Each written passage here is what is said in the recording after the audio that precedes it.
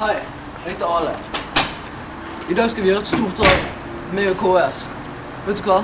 Jeg hater purken så jævlig. Og nå skal vi faen meg stjele noe. Skal til byen for å gjøre et ran.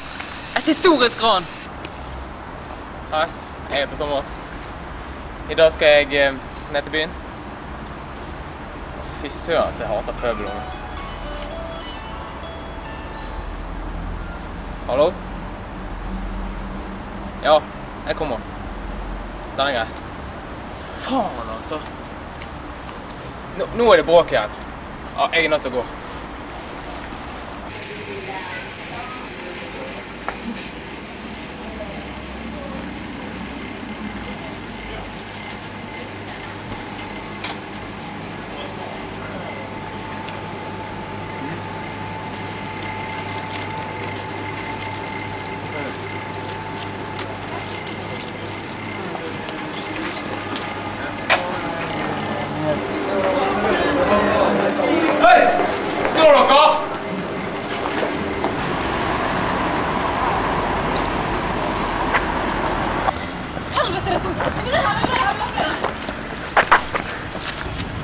Helvete, da.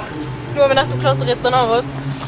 Vi eh, prøver å Altfor enkelt. Det var enkelt. Det var ingen match. Vi kom oss vekk. Vi kom oss unna. Vi var jævlig heldige. Du var nære på. Jo, Alex, hva syns du om politikken her i landet, da?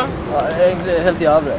Ja, fordi at nå når Siv Jensen og Frp kommer til makten, så er det jo ikke vits i å rane lenger. For de vil jo kutte spriten på både Nei, Ja. Kutte prisen på både drivstoff og sprit. Ja, hva er vitsen nå? Hva er vitsen? Kan vi bare vi- kjøpe det? Da må vi gå til Trygdeetaten og få penger derfra. Ja. Ja. Og når vi står og ser på øh, vannet her, så er det jo helt utrolig. Oi! Klokka to. Hva har vi gjort? Kom her. Hva har vi gjort? Dere skal bli med på stasjonen. Kom igjen. Kom igjen. Faen helvete. Jævla tynt. Jeg har fortsatt i godset! Jeg har det! Vi kan levere tilbake igjen. Jeg er ikke. Dere skal rett i kasjotten med dere. Det er ikke rettferdig dette her. Hadde Frp kommet til makten, så hadde ikke dette skjedd. Kom igjen. Hvor går dere.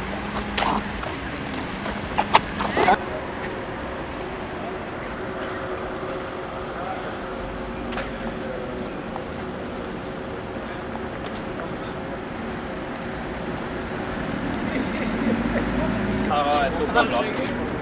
God jobbet, Julie.